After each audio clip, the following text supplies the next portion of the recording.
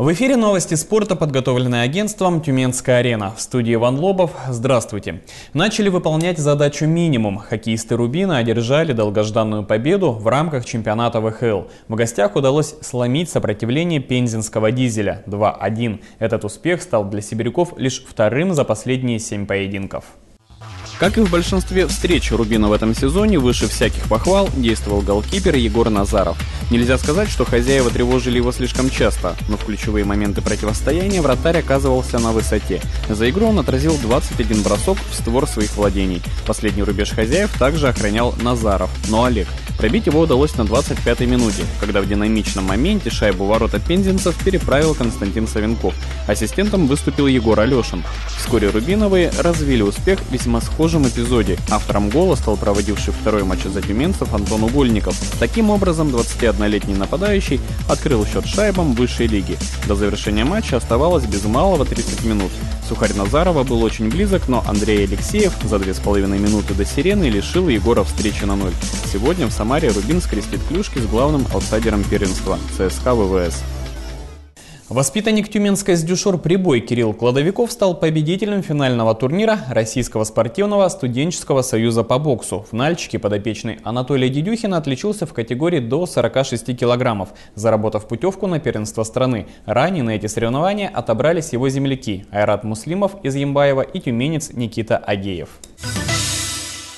Пока игроки МФК Тюмень терпели неудачу в Кубке России, их коллеги стали чемпионами страны. Речь в данном случае идет о слабовидящих спортсменах категории B2, B3. Сибирские мастера футзала, которых тренирует Леонид Яровенко, золото этих соревнований взяли впервые. Наши земляки сумели обойти главных фаворитов из Новосибирска и Башкортостана. Также позади остались представители Дагестана, Ленинградской и Тульской области. Нам еще первую игру поставили как с чемпионами неоднократными, с Новосибирском. Было, конечно, тяжело. Настраивались, эмоционально пытался на команду сильно настроить, э, так как у нас еще три сборника в команде, то есть как-то плюсовало, может, скажем. Ну и морально настроились, первую игру сразу выиграли у них. На турнире, который прошел в подмосковном Раменском, тюменцы произвели фурор. Они лишь раз сыграли в ничью, победив во всех остальных матчах. Лидером было двое. Это капитан команды, я имею в виду Богомолов Ваня. Это четвертый номер. Это бывший чемпион России, международную стартов выиграл по легкой атлетике, от него не убежишь.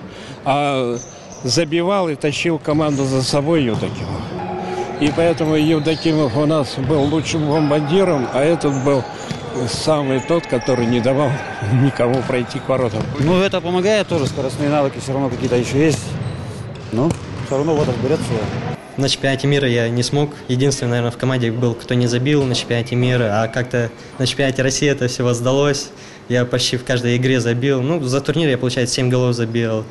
Блин, практически все залетало, вот все, что можно было, все залетело у меня. Не подводила и ближайшая смена. Одним из самых юных участников чемпионата стал 15-летний игрок Тюмени Тенгиз Тативасян. Сибиряк набирался опыта с каждым матчем и в результате записал на свой счет три гола на турнире.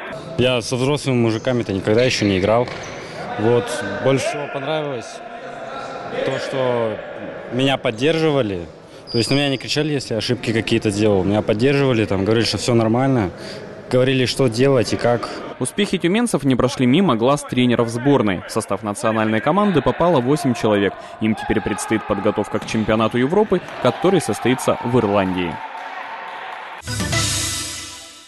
18 медалей привезли тюменские дзюдоисты на всероссийских соревнованиях в Нефтьюганске. Воспитанники Центра олимпийской подготовки Тюмень-Дзюдо 7 раз поднимались на высшую ступень пьедестала почета. Золото выиграли Алина Сергеева, Айгуль Куценко, Надежда Циналис, Александр Климкин и Никита Дибрин. Яна Дибрина положила в свою копилку трофеев две награды высшей пробы. Она взяла главные призы в разряде до 70 килограммов и абсолютной категории.